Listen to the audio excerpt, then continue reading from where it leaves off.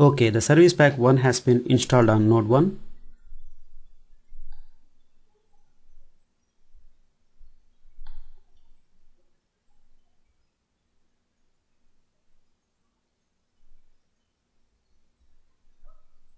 Now we need to set the possible owners for the SQL Server cluster. Right click on the SQL Server cluster network name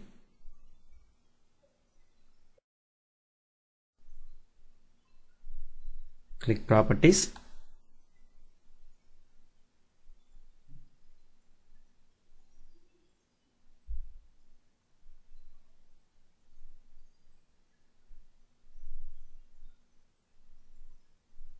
Go to the advanced policies tab.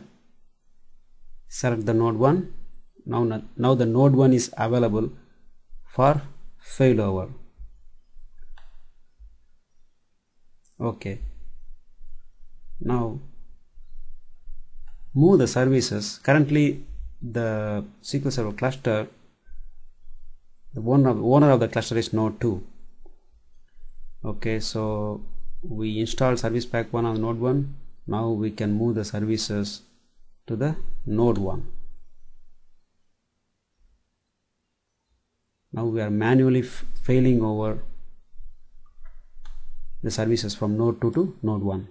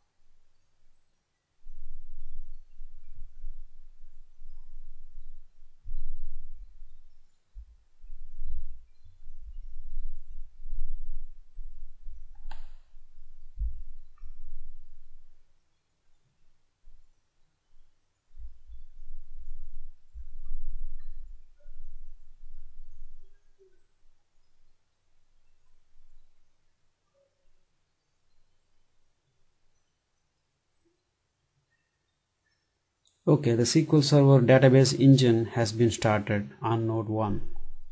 Now SQL Server agent is about to start. Okay, now everything is uh, failed over to node 1. Okay, now we have installed Service Pack 1 on node 2 and node 1. We can go to the Management Studio and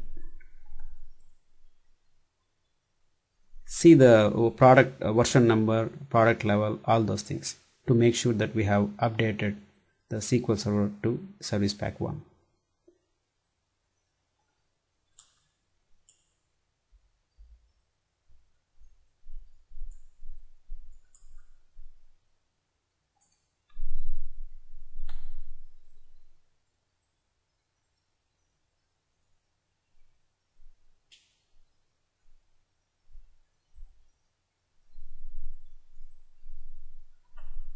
Click new query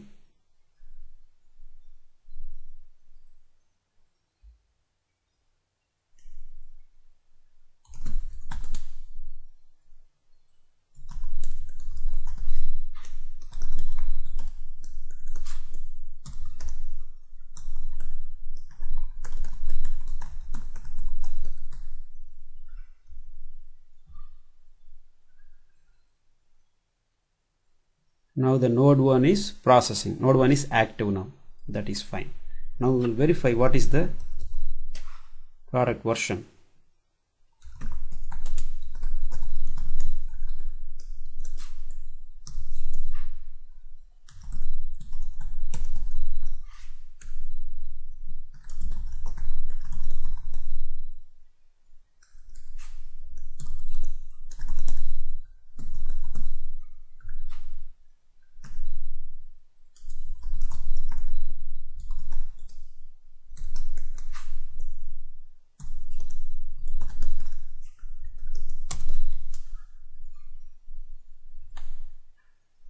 okay. Now it is uh, 10.0.2531 the RTM version is uh, 10.0.1600.22 and this is service pack 1 so we have successfully installed service pack 1 on node 1 let us verify on node 2 now manually fail over the services onto the node 2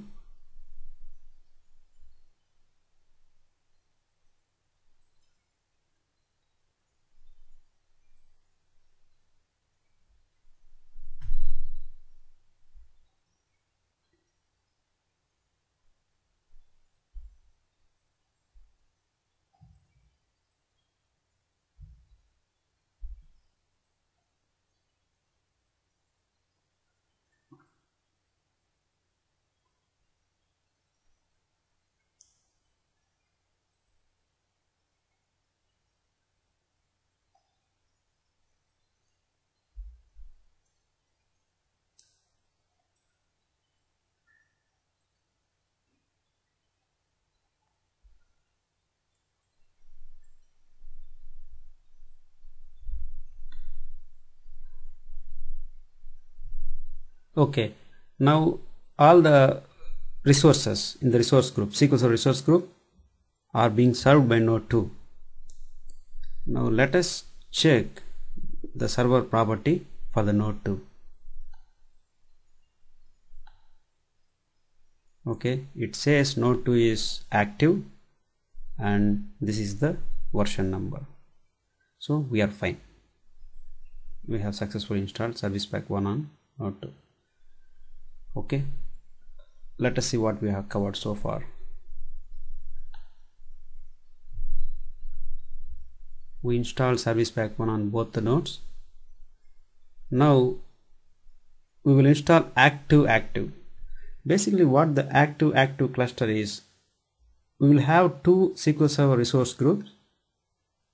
And one resource group one node will be active and another resource group another node will be active okay? Multi-node instance. That is the active active. Currently what we install so far is active passive. So if we do the same thing if we do again if we install one more SQL Server cluster and make one node as active another node as passive then that that is active active. Okay? Let's start installing active active cluster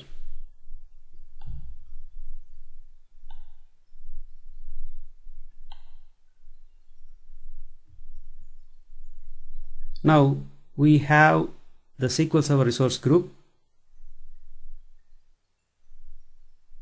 and node 2 is active and node 1 is passive. Okay.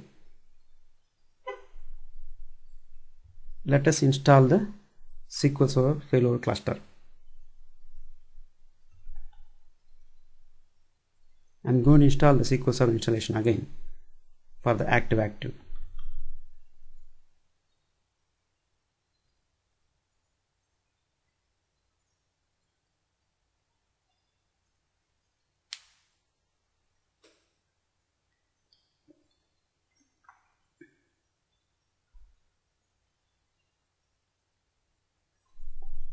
Click installation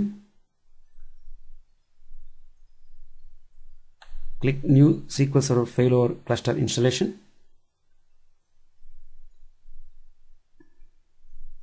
we will close out the management studio.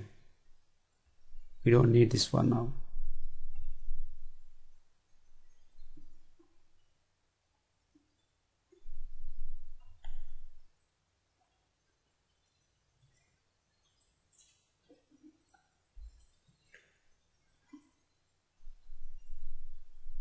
click ok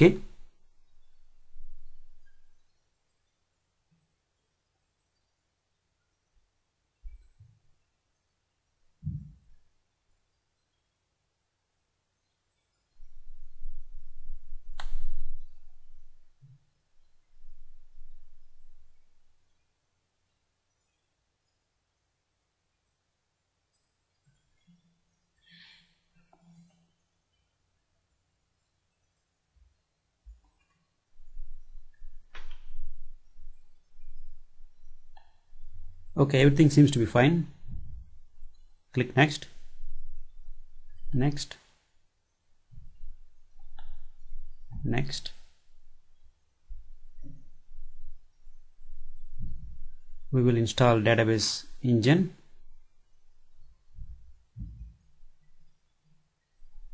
And uh, that's pretty much it. We already have the management studio so that is why it is grayed out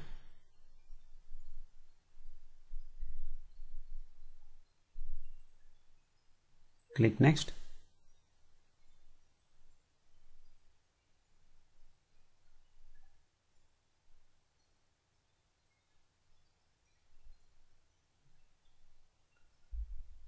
Oh by the way uh, let us check if we have any um,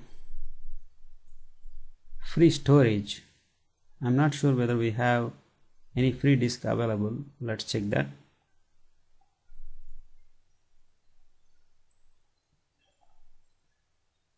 okay. The cluster disk disk 3 is available. So we can install this cluster the second cluster on the disk 3 uh, okay we need to give the new name. So the earlier network name it was uh, dev sql clu and now for this I'm going to give dev sql clu 1 okay I cannot select default because already default installation default instance of SQL Server is running on one cluster. So I have to select the named instance. So I'll give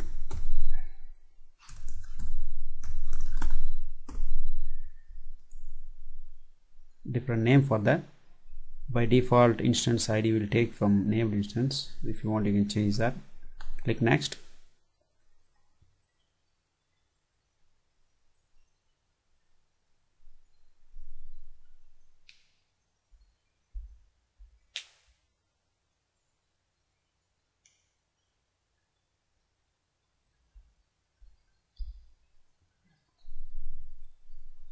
click next.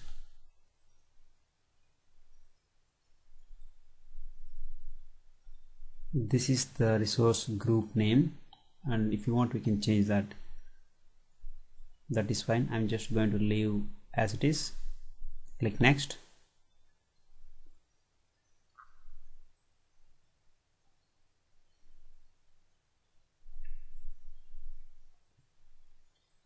it says the cluster disk 3 is available. Rest of the disk, disks are um, allocated. So which is fine. Click next.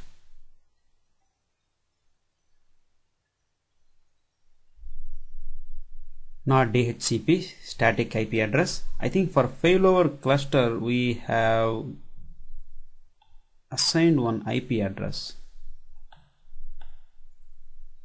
Yeah for active active we reserved 118 so let's use 118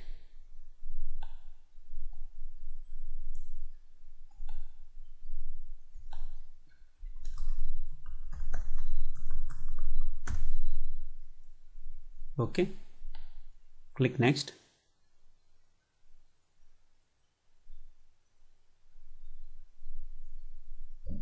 Next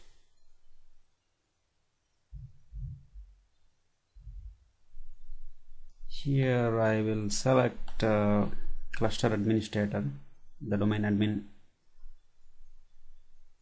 meta manager. This is the domain and CLU ADM this is the domain user which has the domain admin access.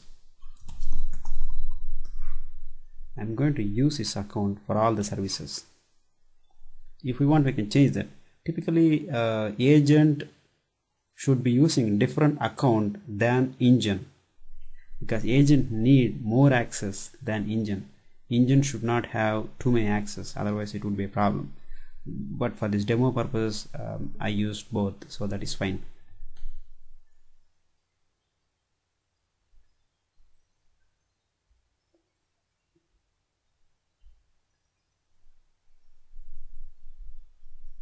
Add current user if we want we can change the data directories.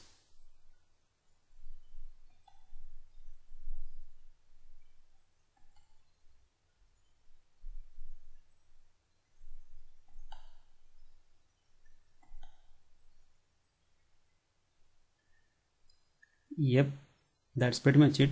Click install. It will install new failover cluster like this.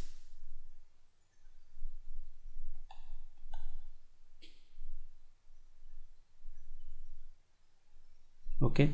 Uh, it will take some time. What I will do I will uh, pause the video here and I will uh, I'll be back after the installation